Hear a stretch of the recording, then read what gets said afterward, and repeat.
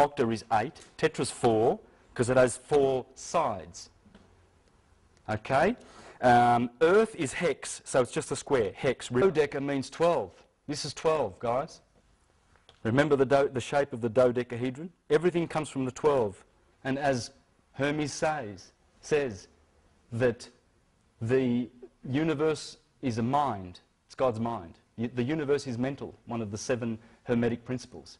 The universe is mental, and it's in 12. It has 12 latent energies, and then it gives itself through, through to, the, to the seven active energies, the seven dynamos, electromagnetic dynamos of our solar system, which are causing us to manifest. The energies are there. Okay? And that's what Plato says, that our souls come from the 12, the Milky Way galaxy, the 12, down a seven-rung ladder, Saturn, Jupiter, Venus, Mars, uh, sorry, this is the order. Take note. Saturn, Jupiter, Mars, the Sun in the middle. And Ptolemy gave us this order. He was one of the astrologers that gave us. It's not the natural physical order of the solar system. It's the hierarchical order. Saturn is at the top. Why? Because he takes 30 years to go around the sun. He's at the top. This guy, two, two, uh, 12 years. So he's next. This guy, two years, just slightly under two years, Mars. He's next.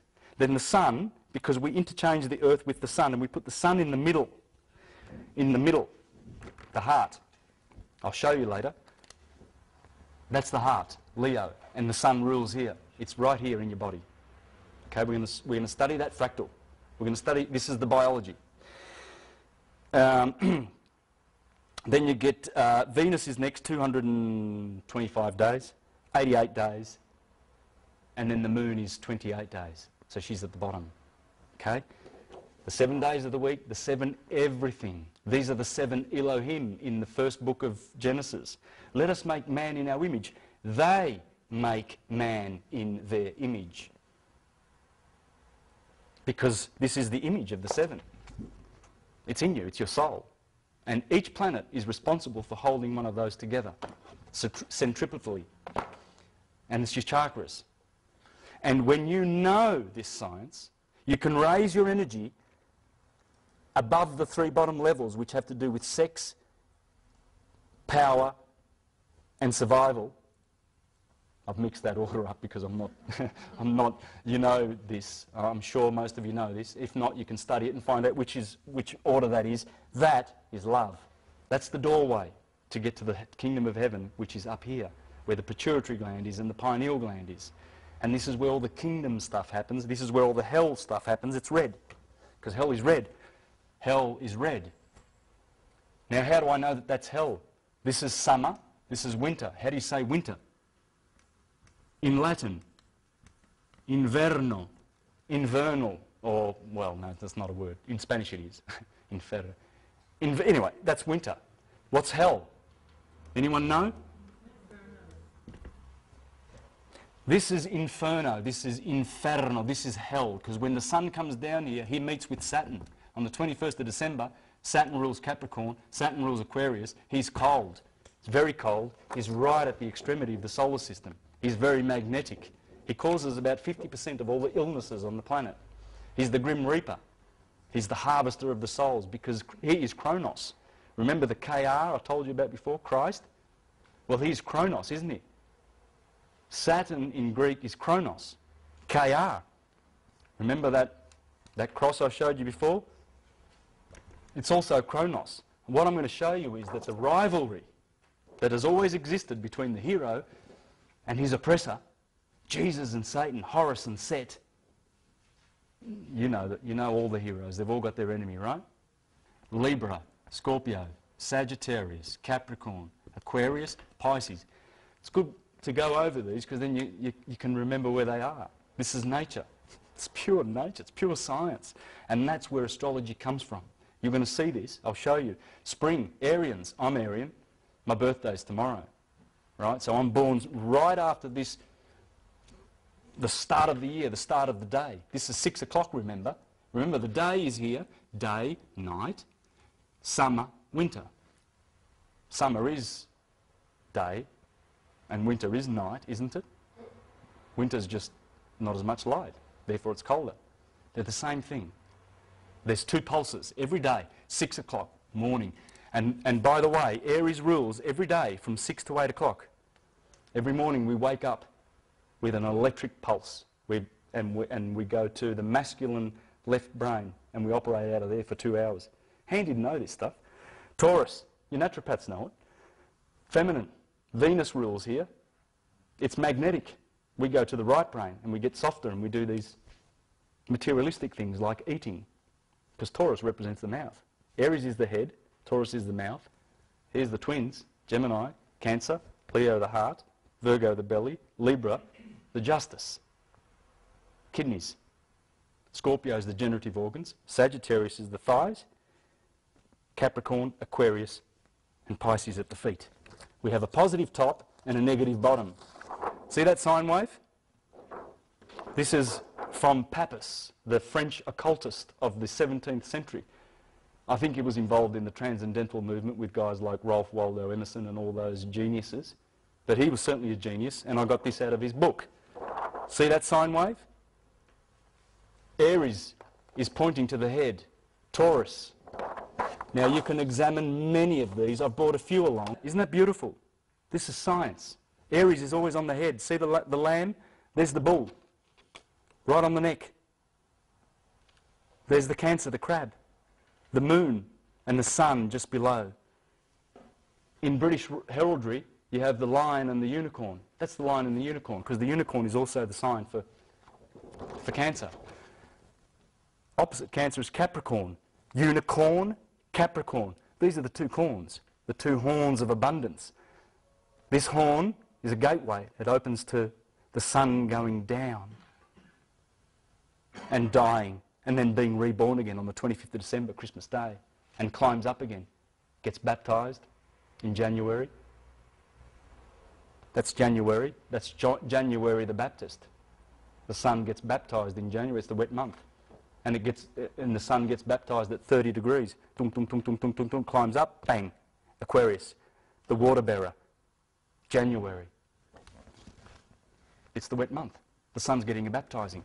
What does February mean? Pisces. February. Februa is the goddess of purification. It means you're purifying yourself. So here you've got a baptism and a purification. The sun is purifying itself and it exalts here in the sign of the Lamb. The Jews are all going to celebrate, the next full moon, they're going to celebrate the Passover and they're going to eat the Passover lamb. And we're going to celebrate Easter as Christians. Easter. Why? Because the sun is in the east. It's perfectly in the east. So, Easter, the star is in the east. And therefore, I've diverted a bit. I'll come back to all of this. I've jumped, I've jumped. What I was going to explain to you is how this, the sun, agriculturally, you can see why the signs are there. You can see clearly why the signs are there. The lamb reminds you of the blossom. Taurus tells you, go out and plough, because you won't be able to gather in September in under the harvest, the virgin who holds the sheath of bread, because the, the virgins go out to collect the harvest. This is the harvest month. The twins, Leo, summer. This is midsummer. This is July, August. The dog days, as the sun goes through Leo and the dog days, this is very, very, very, very hot. And the lion represents the, the, the sun in its glory, in its throne, in its enthronement. But then, as it goes through Virgo and they collect the harvest, and all of a sudden the leaves begin to turn red, the sun is going through the Red Sea and everybody's freezing. And if they did not do this work, they would not eat here and they would die. Imagine yourselves in Scandinavia, for instance.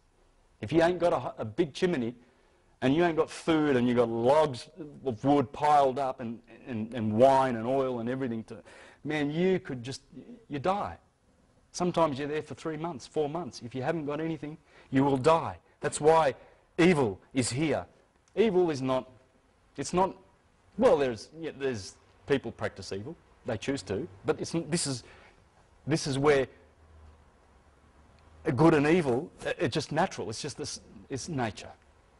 And Jesus, the Son, rules the summer kingdom of heaven, and Saturn rules the kingdom of hell, inverno, inferno, winter, because he's cold. Mr. Hot, Mr. Cold. Libra, when the sun goes through those scales on the 21st of, of September, it gets judged. And you're going to see later, this is the period here in Scorpio when all the stock markets crash. 1929, the 24th of October, just three days after the sign of Libra finishes, the sun is judged, and then the scorpion bites the sun. He is Judas Iscariot. The sun always is there to betray the Son to its death and hand him over to Satan, Saturn. And the Son gets betrayed by this fella here. Sagittarius, the killer of the Sun. This is the guy that betrays him, Scorpio. Uh, check out um, Strong's Concordance 4091, and it will say Pilate armed with a spear. Libra betrays the Sun. And I was actually speaking about um, the stock market crash. The 87 stock market crash, the 19th of October. The 2008 stock market crash, the 19th of October, exactly 20 years to the day. They always crash the market here. They always go to war here.